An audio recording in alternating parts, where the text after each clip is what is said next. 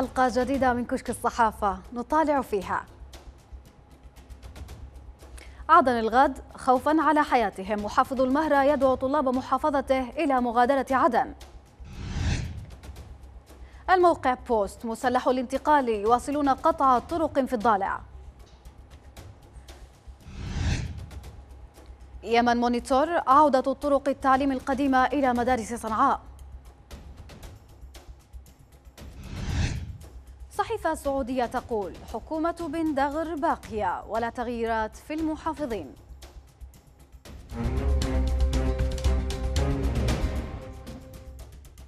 أهلا بكم. عدن لم تعد مكانا آمنا حتى لأبناء المحافظات الجنوبية. هذا ما يشير إليه توجيه محافظ المهرة فوفقا لموقع عدن الغد. محافظ المهرة يوجه بنقل طلاب المحافظة من عدن بصورة عاجلة.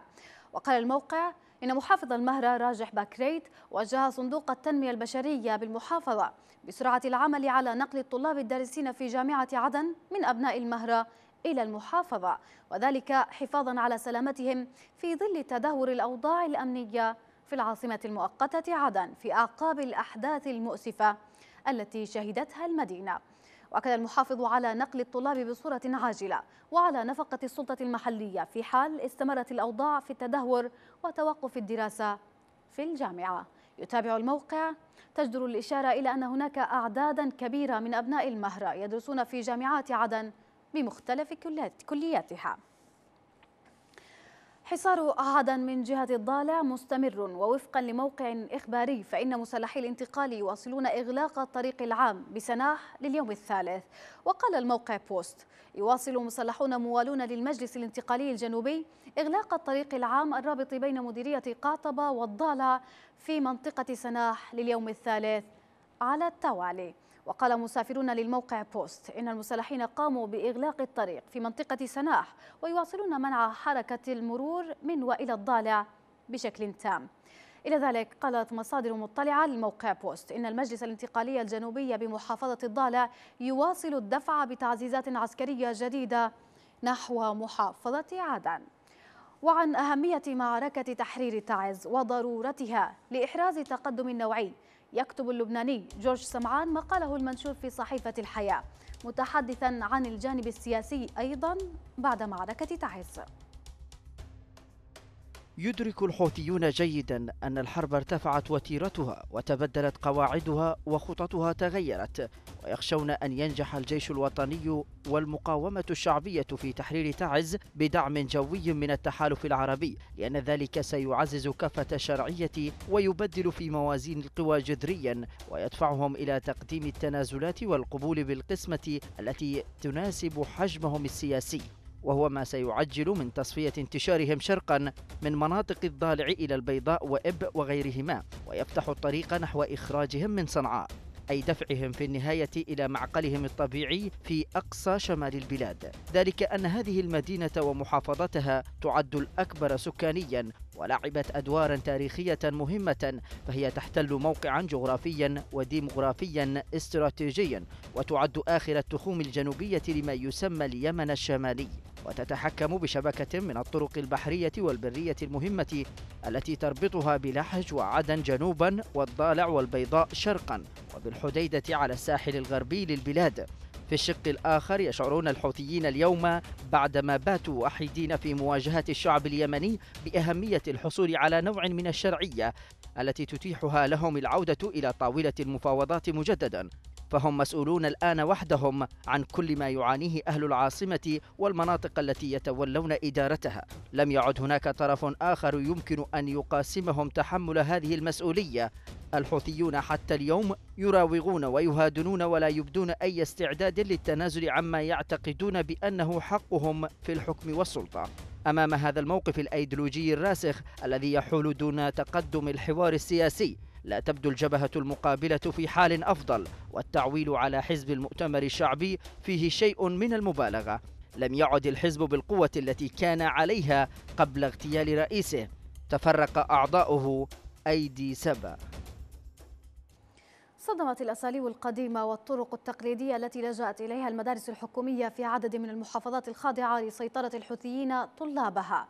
في سير امتحانات الفصل الدراسي الأول للعام 2017 2018 وذلك من خلال كتابة الامتحانات اليدوية المطبوعة على السبورة وعبر إملاء الطلاب شفهيا ومن ثم نقلها إلى أوراق عادية. ووفقا لتقرير نشره موقع يمن مونيتور بدأ العام الدراسي في مناطق سيطرة الحوثيين بالإضرابات وتشييع المنهج الدراسي وفرض غرامات مالية على الطلاب انتهاء بتسييس التعليم عبر فرض احتفالات تخص جماعة الحوثي. وقالت مصادر تربوية في عدد من المحافظات ليمن مونيتور إن وزارة التعليم والتربية لا تكاد تستطيع إنهاء نصف العام الدراسي الأول للعام الحالي في إطار انتهاء الفترة الزمنية له ومحاولة اختتامه بأي شكل من الأشكال.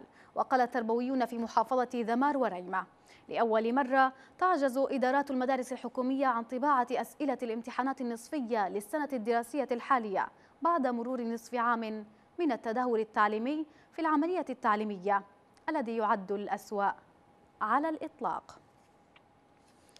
ومن نتائج التمرد في عدن توقف الأعمال الإنسانية والإغاثية حيث ينقل موقع المشاهد نت عن الأمم المتحدة قولها أن حركة الطواقم الإنسانية داخل مدينة عدن تم تعليقها بسبب أعمال العنف والقصف وقال ستيفن أندرسون القائم بأعمال منسق الأمم المتحدة للشؤون الإنسانية في اليمن إن الأنشطة الإنسانية في المدينة تم تعليقها فيما بقي العاملون في مجال الإغاثة في منازلهم غير قادرين على مواصلة أنشطتهم المنقذة للحياة. وأضاف أندرسون في بيان صحفي أن استمرار القتال منع عمال الإغاثة من الاستجابة لطلب مستشفيين عامين بشأن الحصول على معدات لإجراء العمليات الجراحية.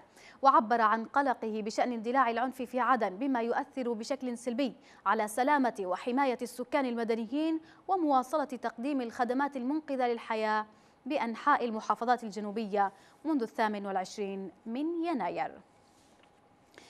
لم تقدم المناطق المحررة ولا المحررون أي مثل يمكن أن يدعم حجتهم في مقاومة الانقلاب الحوثي العفاشي. فالقوة الغبية هي القوة الغبية في كل زمان ومكان عندما تضل طريقها إلى الهدف الغلط. هكذا بدأ السفير اليمني في لندن ياسين سعيد نعمان. مقاله المنشور في الموقع بوست تحت عنوان المنتصر مهزوم. مضيفا في أجزاء من المقال. القوة المحررة التي أفرزها الانتصار على بلطجة الحوثي عفاش في الجنوب خرجت من المعركة بلا هدف واضح وتوزعت بين أمراء حروب كل يبحث عن استحقاقات الانتصار داخل الحدود التي رسمها بمعايير مصالحه الشخصية. ومع غياب الخطط الحاكمة لاستكمال عملية التحرير بسبب الاستقطابات التي حولت الشرعية إلى منصات لإطلاق التهم ضد بعضها البعض والتي استرخصت على نحو مؤسف التضحيات الضخمة التي قدمها الشعب لاستعادة الدولة من الانقلابيين. تكون فائض من القوة التي ظلت طريقها. وتخندقت في مواجهة بعضها. والحقيقة أن السلاح الذي لا يسترشد بسياسة قوية ينتظم في إطارها فإنه لا يجد مناصا من أن يتحول إلى قوة منتحرة. ما يجري في عدن هو انتحار لكل ما يشهر من أهداف ومن شعارات في مواجهة بعضها البعض. فلا القضية الجنوبية مستفيدة من هذه الفوضى ولا قضية التحرير التي تحمل لواءها الشرعية. ستتوفر لها الشروط لمواصلة استكمال المهمة والسؤال من له يا ترى مصلحة في توليد هذه الإرباكات والصراعات والمواجهات الدموية؟ في تقديري أن هناك قوتين تخترقان منظومة الشرعية بحسابات أقل تقييم لها أنها مغامرة ولا تحسب حساب الحقائق الموضوعية على الأرض هاتان القوتان تكرسان انقسام الشرعية بحساباتهما التي تتناقض موضوعيا مع عملية استعادة الدولة من أيدي الحوثيين الانقلابيين. الأولى تعتقد أن هذا الوقت هو المناسب لاستعادة دولة الجنوب وأن تفويت هذه الفرصة سيؤدي إلى ضياعها نهائيا. والحقيقة أن هذا الاعتقاد مبالغ فيه وغير مبني على حقائق جوهرية تعكس قراءة واقعية للمتغيرات التي تؤثر في قرار كبير كهذا.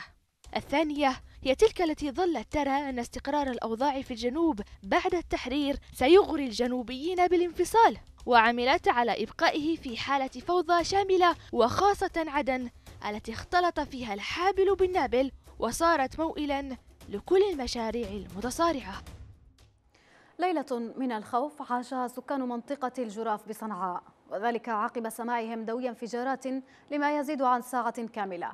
وعنون موقع الصحوة نت صنعاء مقاتلات التحالف تستهدف مخزنا للسلاح في الجراف. وقال الموقع إن مقاتلات التحالف العربي جددت غاراتها الجوية على مواقع الميليشيا الانقلابية في العاصمة صنعاء فجر اليوم الأربعاء. وقال شهود عيان للصحوة نت إن مقاتلات التحالف استهدفت مخزنا للسلاح والذخائر في حي الجراف ما أسفر عن حدوث انفجارات عنيفة ومتتالية. وأضاف الشهود أن المقاتلات استهدفت المخزن الذي يقع بالقرب من السجن المركزي. ما أسفر عن حدوث انفجارات عنيفة وتصاعد أعمدة الدخان لفترة طويلة. يتابع الموقع تواصل ميليشيا الحوثي تكديس السلاح وسط أحياء صنعاء بعد نهبها من مخازن معسكرات العاصمة والمحافظات المجاورة. بعد الفاصل سنعود لمتابعة أبرز ما أوردته الصحف العربية والعالمية بالإضافة إلى بعض الأخبار المتنوعة. ابقوا معنا.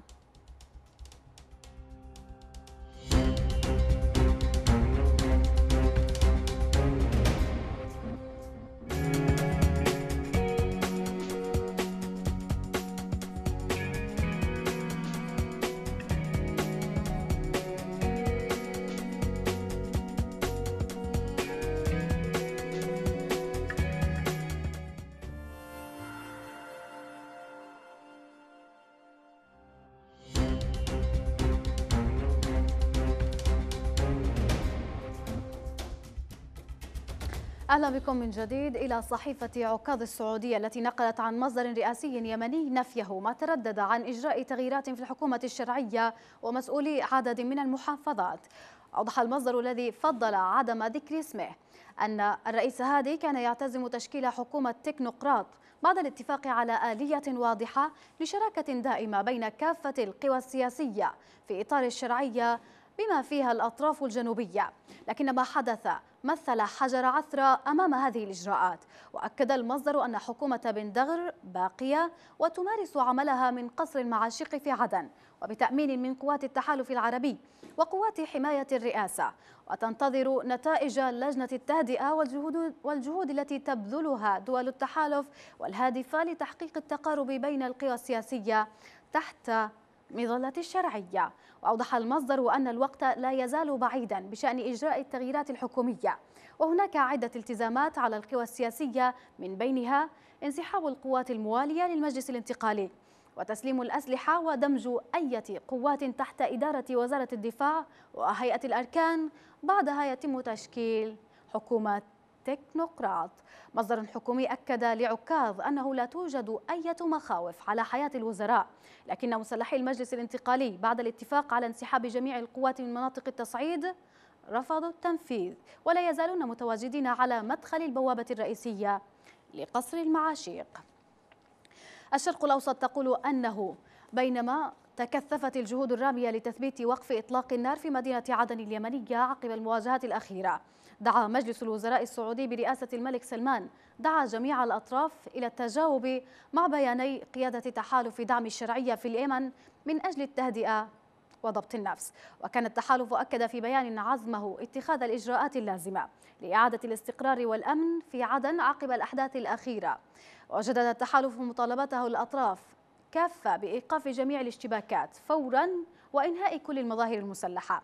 إلى ذلك قالت وزارة الداخلية اليمنية إن القوات العسكرية والأمنية التي كانت منتشرة في شوارع عدن عادت إلى معسكراتها وثكناتها والحياة باتت طبيعية في مختلف المديريات والمناطق التي شهدت توترا.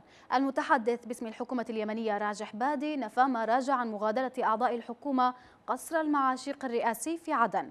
قائلا إن قصر معاشيق ومحيطه ومعظم أحياء مدينة كريتر ما زالت تحت سيطرة اللواء الأول. حماية رئاسية. أما صحيفة العرب الجديد فأفادت بنزوح عشرات الأسر اليمنية من مناطق الاشتباكات في عدن إلى أخرى آمنة بعد اشتداد المعارك خلال اليومين الماضيين.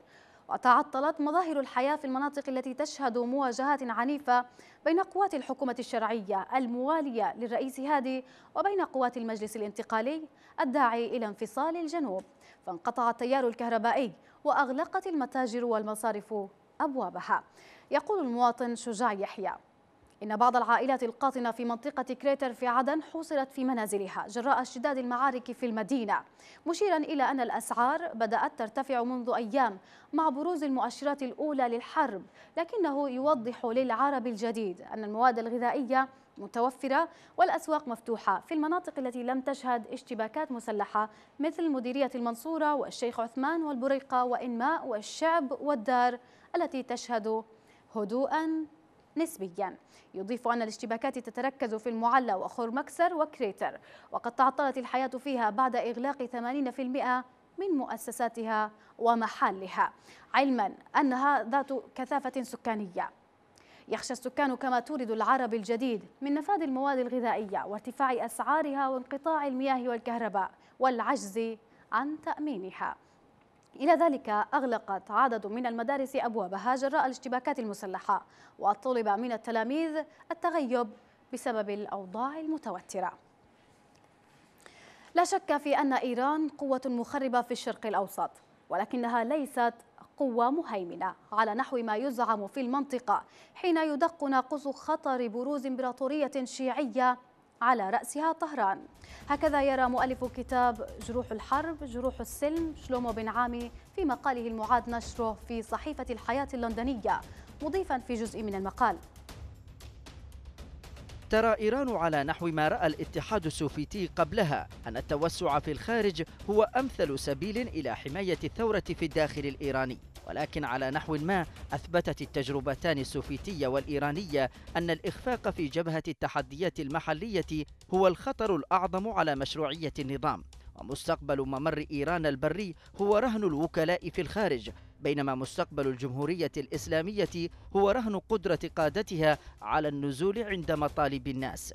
ولكن يبدو أن القادة الإيرانيين يرجحون كفة وكلائهم في الخارج على كفة مواطنيهم. وعلى رغم إخفاق الاتفاق النووي المبرم في عام 2015 في النزول على التوقعات الإيرانية الاقتصادية المرتفعة تواصل السلطات إنفاق ملايين الدولارات على حزب الله والحوثيين في اليمن وأمثالهم.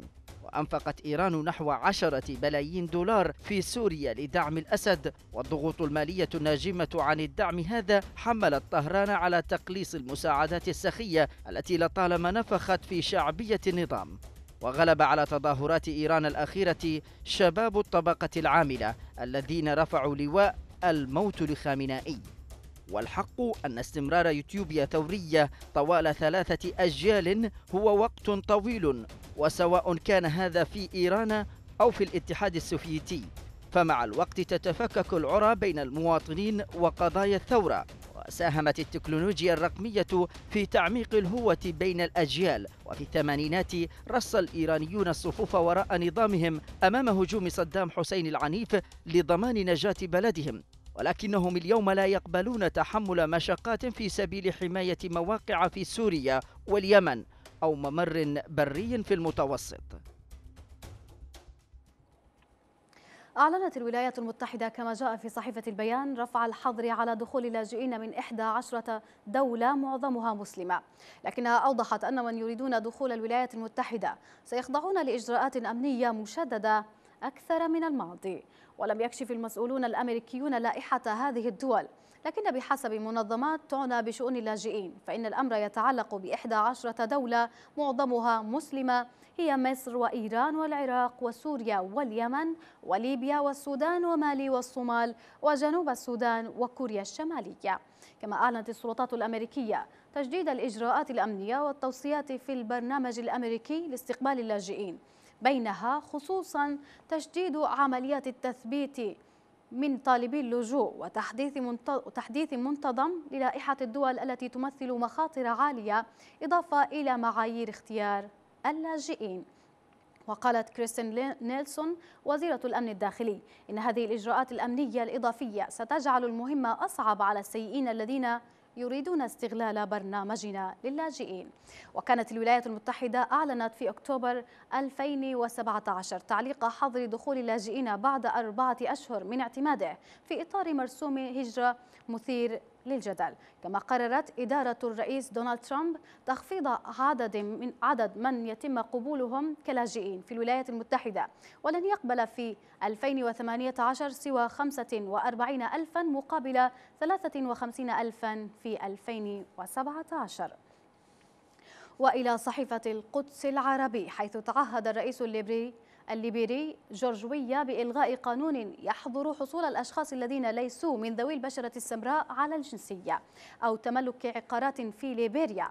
توضح الصحيفة أنه منذ تأسيس دولة ليبيريا الواقعة في غرب أفريقيا في عام 1847 يجيز الدستور الليبيري منح الجنسية وتملك عقارات فقط للأشخاص من ذوي البشرة السمراء. وقال ويا خلال خطابه الأول الموجه للأمة منذ تنصيبه رئيسا للبلاد قبل أسبوع. إن هذا يتناقض مع اسم دولة ليبيريا الذي يعني الحرية. وأضاف ويا يجب أن لا نخشى من أن تتمتع الأجناس الأخرى بحق الجنسية الليبيرية. ولهذا أوصي وأقترح بأن يتم النظر في هذا الأمر عند حذف هذه المادة من الدستور. كما أعلن ويا أنه سيتبرع ب 25% من راتبه لمصلحة الفقراء. ودعا أعضاء البرلمان ليحذو حذوه بالتبرع بجزء من رواتبهم للفقراء. جولتنا المصورة لهذا اليوم من صحيفة الديلي تليغراف بمجموعة صور منوعة. نتابع.